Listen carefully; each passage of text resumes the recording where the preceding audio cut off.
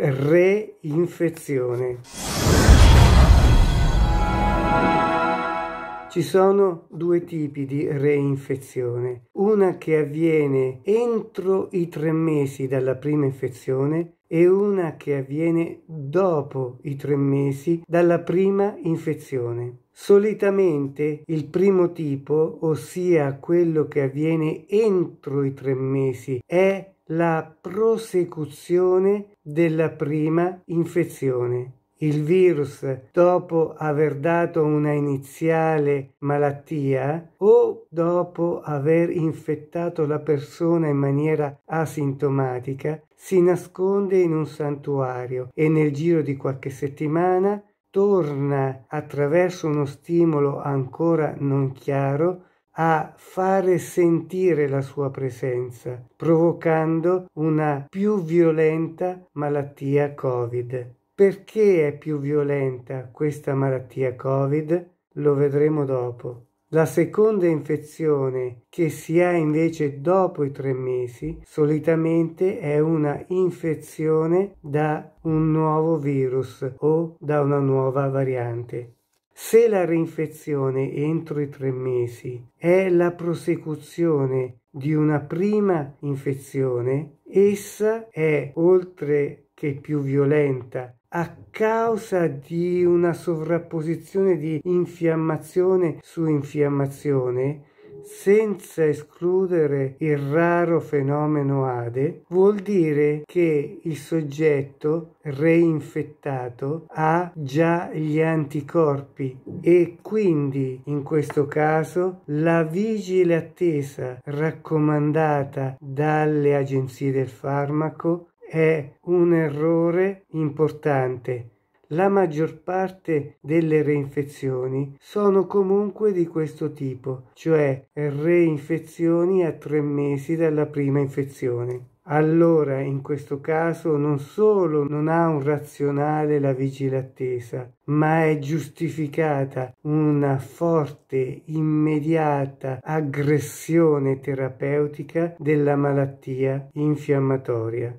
Le reinfezioni oltre i tre mesi dalla prima infezione, come abbiamo già detto, sono infezioni di un nuovo virus, come può esserlo una variante. Esse, tuttavia, rispetto alla prima, sono estremamente rare. Parliamoci chiaro, in medicina il 100% non esiste e anche in, nel nostro gruppo Facebook c'è una persona che ha avuto una reinfezione, seppur trattata a domicilio, ad un anno. Queste però sono le linee generali che sta indicando la letteratura in questo momento. Ma perché le reinfezioni dopo i 3-6 mesi sono così rare? Perché non esiste solo l'immunità anticorpale, la quale comunque si è dimostrata più protratta vasta di quanto si pensasse in un primo tempo, ma c'è soprattutto la violenta reazione cellulo-mediata, capeggiata dai linfociti T, i quali sono anche responsabili della violenza della reinfezione entro i primi tre mesi. E questa reazione anticorpale non è diretta contro solo ed esclusivamente la proteina spike, ma anche altre proteine del capside. È come se la nostra memoria immunitaria tenesse presente tutte le componenti del virus e fosse pronta a distruggerle. Quindi non esiste solo la proteina spike. Gli anticorpi neutralizzanti potrebbero non essere solo quelli contro la proteina spike. Infatti, nell'infezione del sud-est asiatico SARS-CoV-1 è stato visto che l'immunità durava oltre tre anni. I vaccini, a loro volta, come ammesso anche dal CEO di Moderna e come è stata fatta esperienza, seppur in casi rari, può non coprire una nuova infezione, soprattutto una variante. Ma queste reinfezioni, come quelle del primo tipo, sono trattabili anch'esse con un'aggressione precoce dell'infiammazione.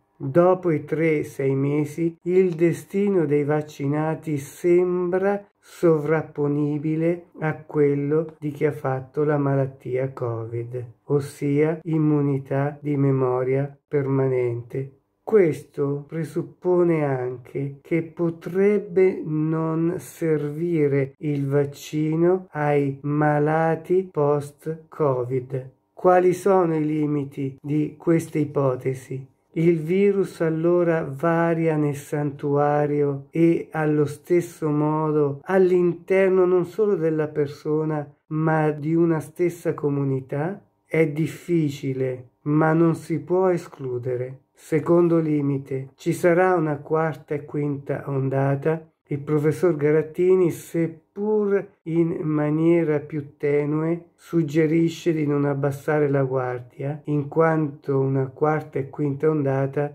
potrebbero proporsi.